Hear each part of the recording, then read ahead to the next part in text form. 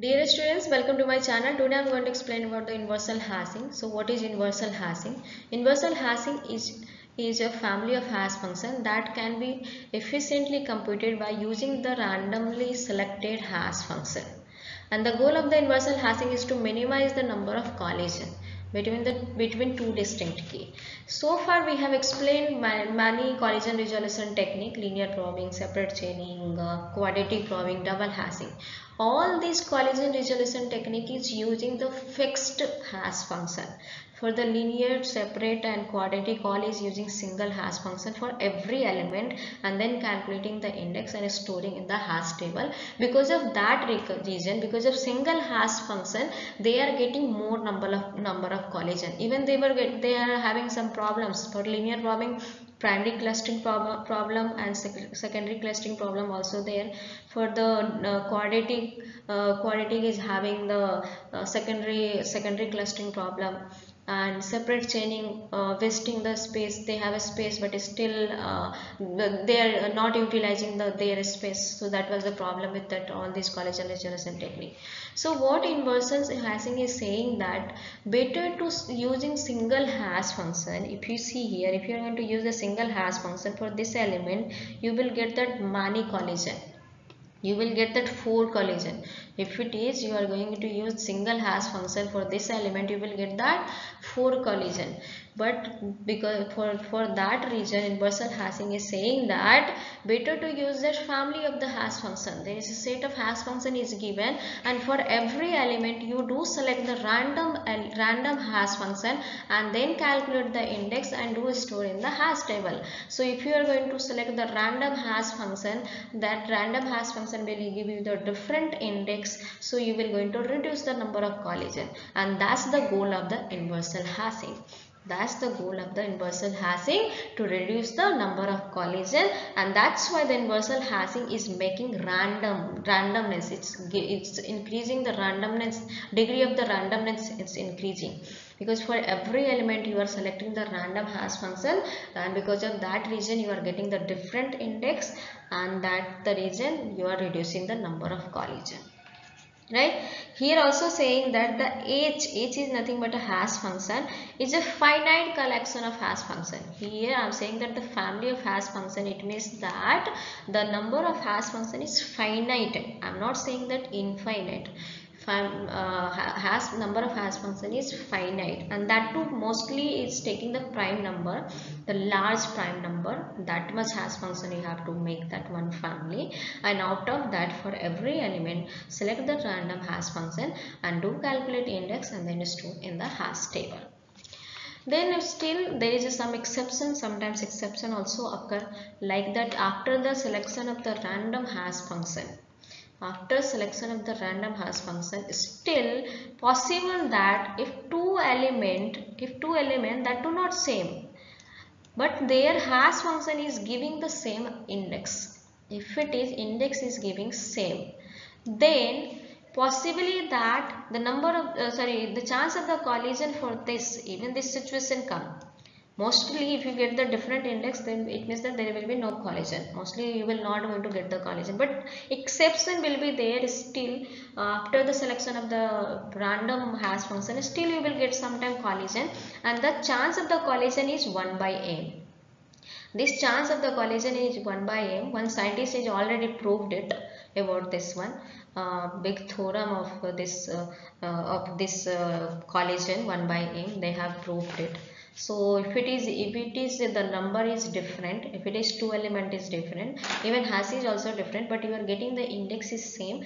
For that reason you will get the collision the chance of the collision is 1 by m Using the graphical representation, I'm going to explain the universal hashing. So suppose this is my set of key. This is my set of key. Means we can say that my universe of key.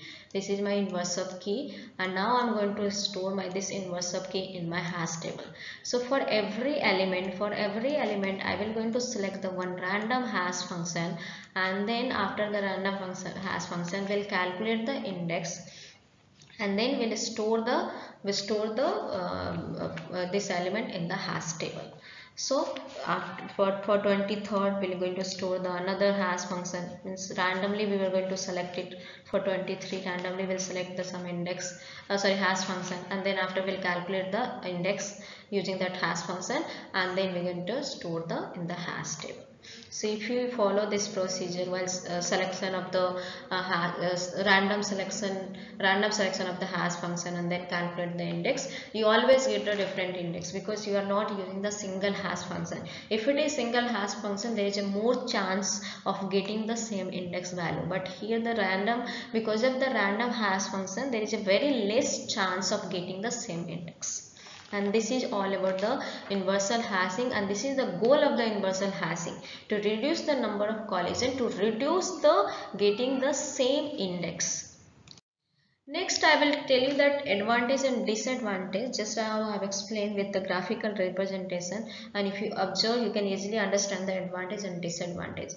Disadvantage is what? I first explain the disadvantage. Disadvantage is that what it is saying that you are doing some extra computation. You are doing some extra computation. Why? What extra? One is that you are selecting the random hash function. You are selecting the random hash function or every time for every element you are using the different hash function then you are calculating the index right? So some some extra computation you are doing and because of that reason it, it, it is bit expensive. It is bit expensive.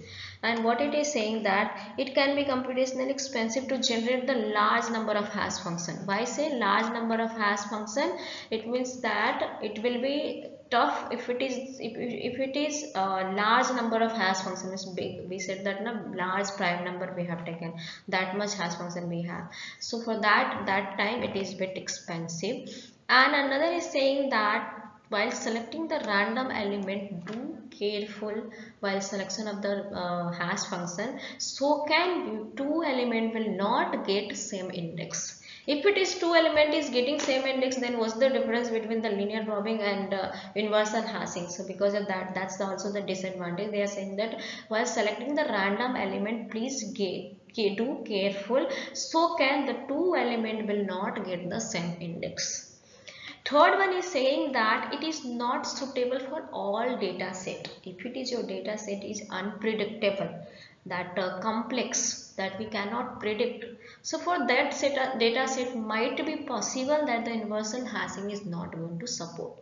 So this is the disadvantage, three disadvantages of the universal hashing I have explained here. There are many disadvantages also there that I have not mentioned here. Three is enough for understanding that.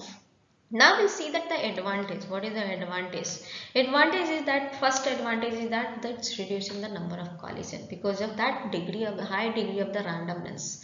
Because here for every element you are selecting the random hash function and because of that reason you are not getting the same index and because of that reason the number of collision is reduced.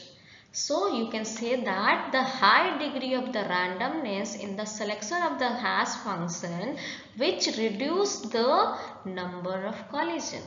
Because of high degree of randomness, it's reduced the number of collision and another is saying that it is simple to implement. Yes it's very simple to implement because you are selecting the random index and you are calculating the index and you are storing it because here collision concept is not coming because every time you are getting the random hash function.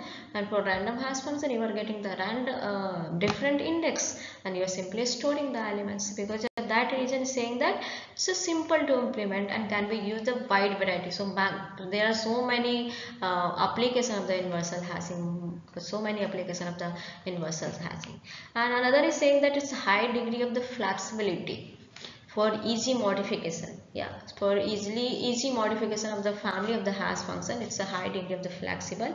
It's very flexible to change the hash function uh, to optimize the performance of the uh, specific data sets. So this is the advantage of the universal hashing that's all about the universal hashing thank you for watching my video